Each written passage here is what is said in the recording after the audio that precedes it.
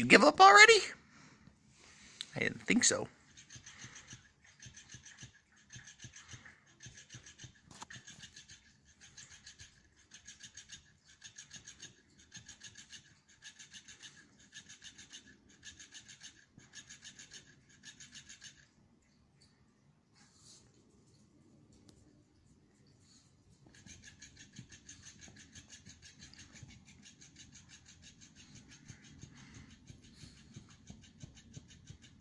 Kill it, Screwball! Kill it!